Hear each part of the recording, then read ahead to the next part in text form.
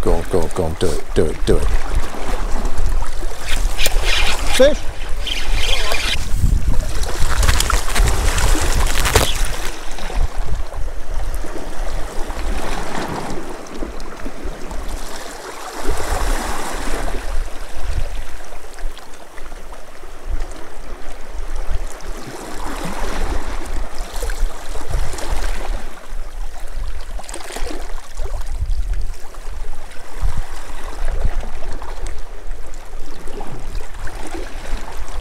Okay, well today is uh, there's a bite.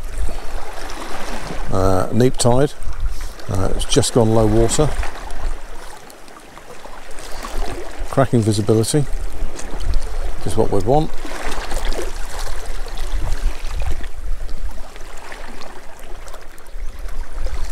Had a couple of inquiries, but no serious bites yet, which is a, shame. But uh, it was only about the fourth cast.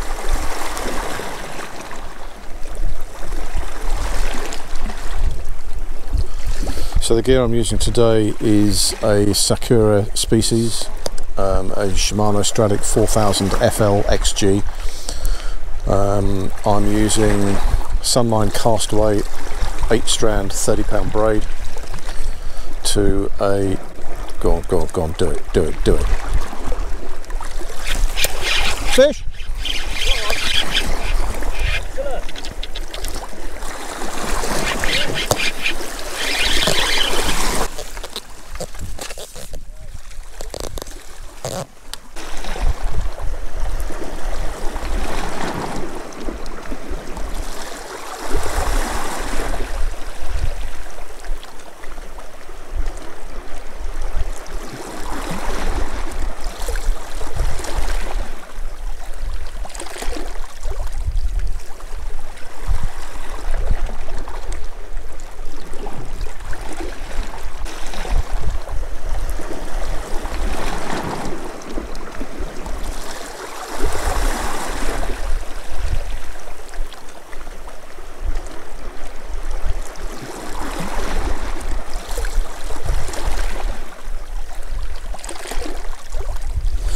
Right, so as I was saying, so we've then got goes down to a size 14 swivel. I pre-make all my traces, so I've only got to tie one knot if I get snapped up or when I arrive at the place. And 20 pound fluorocarbon to 12 gram lead. And this is a Sluggos, yeah, a Molix Sluggos on a size 10 hook. So yeah, so this season uh, with the the new reel? I don't know. Um, I wanted to step up things a little bit.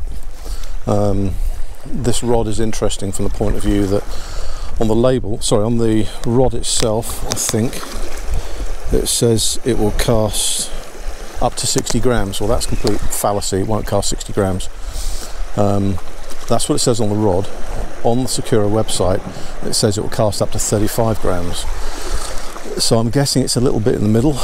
Probably would cast 45 grams. Um, I wanted to push things up a little bit. I wanted a bit more power. Uh, the previous rod I had um, was a Century HPR. Now that was seven foot seven long um, and would cast up to 28 grams. That was a bite. And as good as it was, and it was an excellent rod, I wanted that bit more length. That's another bite, and a bit more power. Um, this rod I managed to pick up for uh, 99.95 is a great price. They're normally around 100, 120 quid, something like that. No. Well, that bite wasn't a big fish, I know that for sure.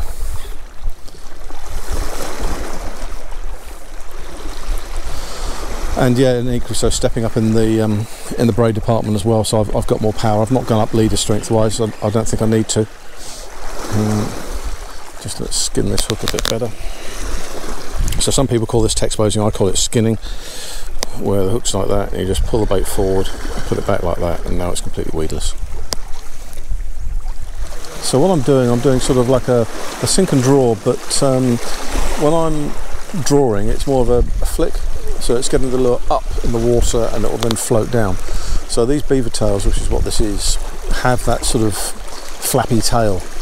Um, but Yeah, the downside, as I said, the, these Molix ones, the, the tails are so thin, it's ridiculous. Okay, let's see who's living over there.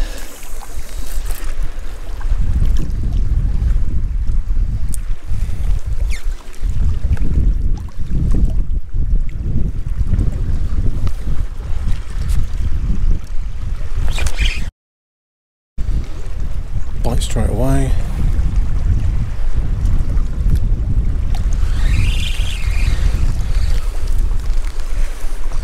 Proof of the bite straight away. Quite impressed with these Sluggo's things. I'm getting bites from them, which is really good. Uh, I've got a couple more packets ordered. I think I might have told you that. Right, let's see if we can go, go back and get another bite. It wasn't quite where I wanted it to be, but that will probably do.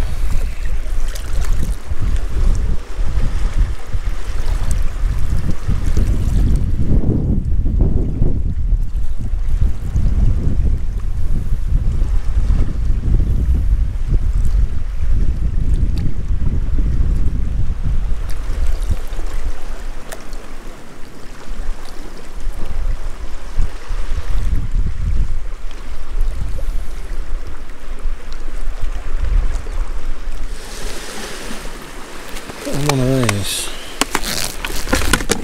Shit. It's noisier than I wanted it to be. So these are a new lure that Adrian's put me onto. Um, they're only available in this one colour, which is a real shame. But they look amazing. So let's try and get him a nice slot in the belly. Oops. Coming out the middle of the back would be good, like that. Okay, so let's see if we can do anything with this. Never used this lure before. Okay, so let's try over there first, because we know there's a fish living over there somewhere.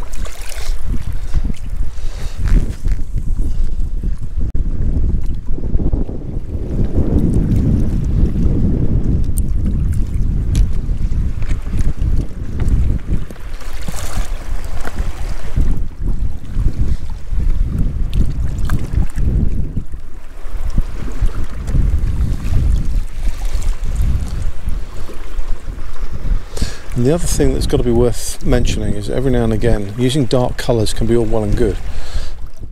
But sometimes, want something that's a bit there, see? You see the, the hit the line had there?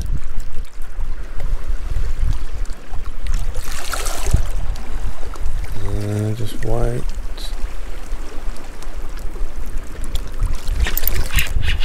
There we go.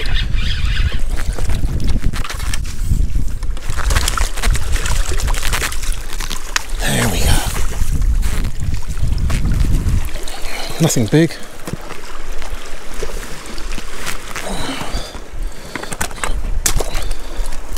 Nice and orange. Right, mate, calm down. It's fine. Right, you're wet there, so just keep yourself still for God's sake. Do I need pliers for you?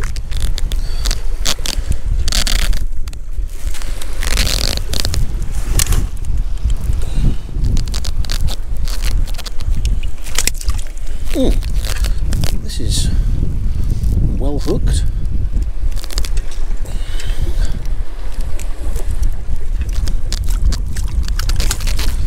So that's the important barbless hooks, folks. That was in there good and proper. Right, let's see if we can get a quick picture. And there's no point swimming, trying to swim, mate, because you ain't going anywhere.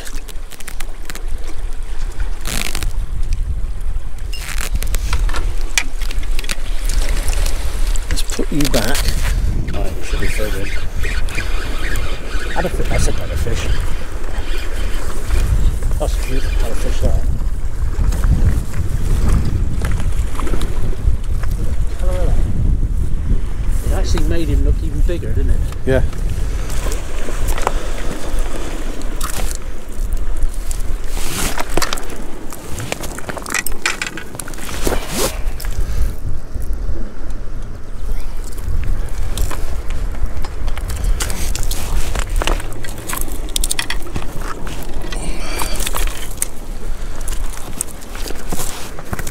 Nice to be able to lay them on in a rock pool or something like that. Unfortunately, that just wasn't the case for that.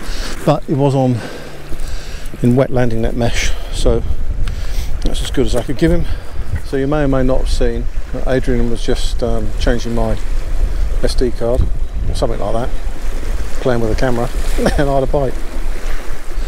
So it doesn't matter where we are fishing today, but this can be a very, very good mark. Um, and as you may or may not have heard, Adrian he loves fishing this on bigger tides. Well, we're, we're quite a neepy tide today. Um, personally, I've never found tidal states, as in springs or neaps, make any significant difference. Uh, but that's just me. Um, I tend to be able to catch whatever the tide has been doing, and I'm not bothered as to whether it's um, low, middle, or high tide. Uh, that's weed. Come on.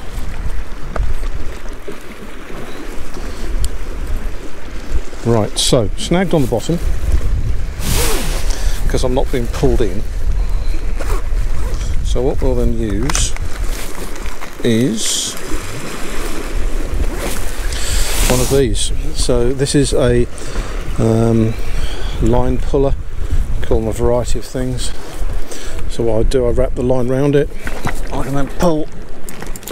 There we go. I've got that out. Make sure you don't overwrap your braid because otherwise, if you do, you can end up snapping the braid. Oh, I've lost everything. Oh, well.